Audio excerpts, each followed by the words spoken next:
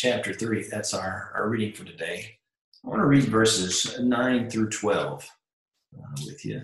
We've got a newer Bible here. Pages are a little hard to turn.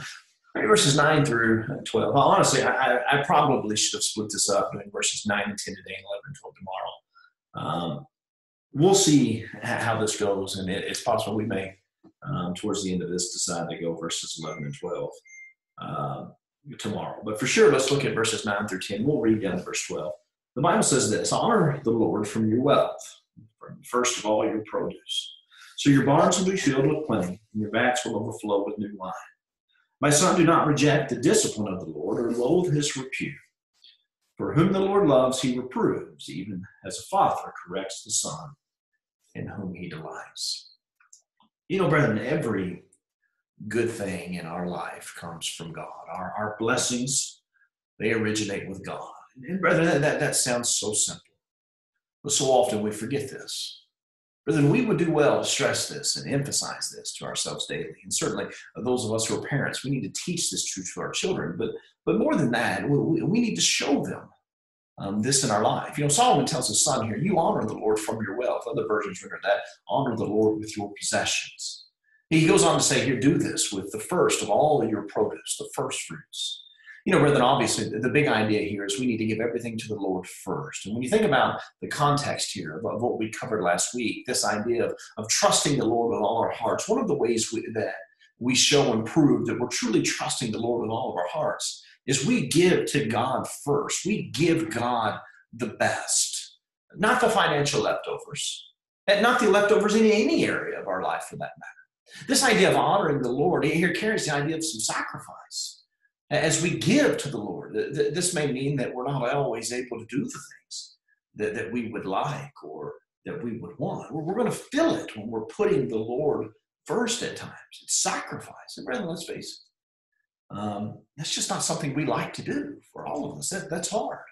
You know, Solomon wants his son to adopt a perspective that, that recognizes that God is the giver of these things, but also that he gives to God, honors God, anticipating that God is going to continue to give to him, continue to provide as he has in the past. You see, when we trust God to continue to bless us, it makes giving to him, it makes giving our best, giving first to him.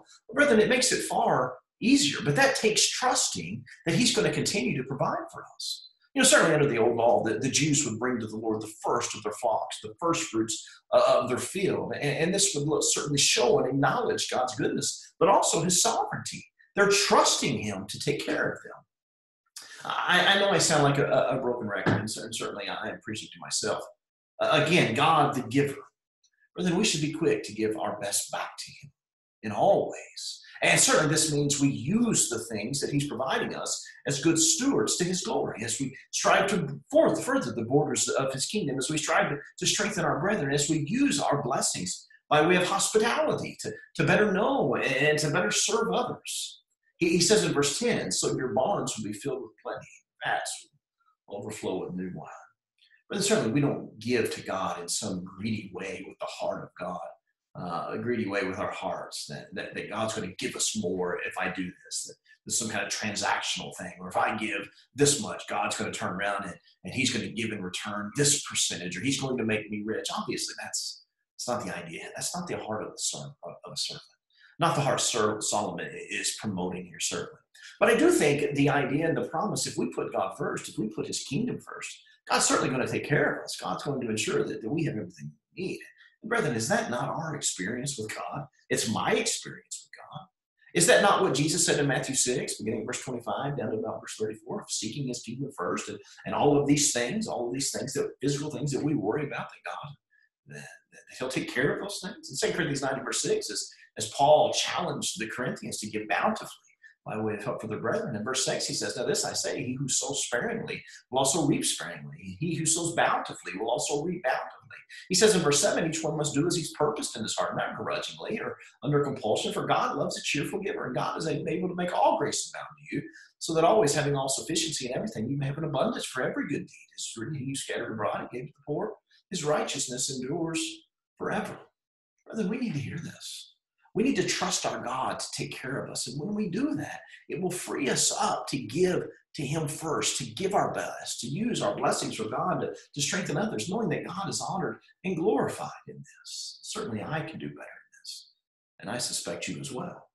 Now, on the first day of the week, we're commanded to give back a portion of that in which we've been blessed, remembering that God does love a, a, a cheerful giver. And certainly, we, we ought to examine uh, our giving back to the Lord. Um, but let's do some self examination just of all areas of our life. Number one, let's ask the question Am I first giving to God? Is He first? Am I giving God my best? Am I using my wealth and, and my possessions that God is blessing me with to serve others, to, to, to strengthen uh, others? And then number four, do, do I trust God? Let's examine our giving. Let's examine our mindset towards our stuff. Let's examine our stewardship of these things that God is blessing us with. Are we using it to our glory or His? You see, that's a personal question that only you can answer and only I can answer. Let's stop here uh, this morning. We'll, pick up in verse 11 tomorrow. We'll consider the discipline of the Lord. There's plenty that we can talk about there. Um, but, but let's ask ourselves those questions this morning. Um, really good stuff here. Honor the Lord from your wealth from the first of all your produce. So your barns will be filled with plenty, your vats will flow, overflow with, with new wine. Let's pray together. Father in heaven, Father, for another day, we are so thankful. Father, you bless us in so many ways. Certainly, Father, we are so blessed as sinners by way of your grace and mercy in sending your Son to this earth to die on the cross for our sins, Father. We certainly are indebted to you and we praise you for that, glorify you, Father. We're just so thankful for your grace and for your mercy. Father, we're also thankful for all of our daily provisions. Father, we are so very blessed materially. Father, you have blessed us in abundance. And certainly, Father, we recognize that these good things are from you. And Father, give us the wisdom to use them in such a way that would glorify you, Father. May we always put you and your kingdom first.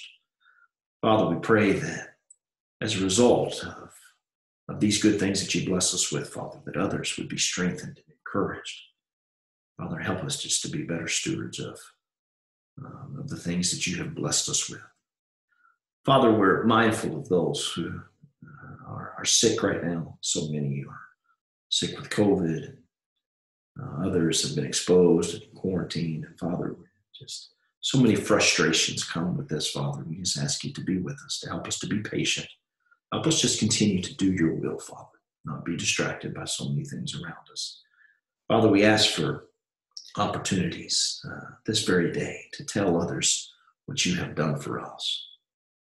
Father, as a congregation, we challenged ourselves this past Lord's Day to, to tell one soul what Jesus has done for us, what you have done for us by way of your grace and mercy. Father, give us the strength and the courage to do that today. In Jesus' name we pray. Amen.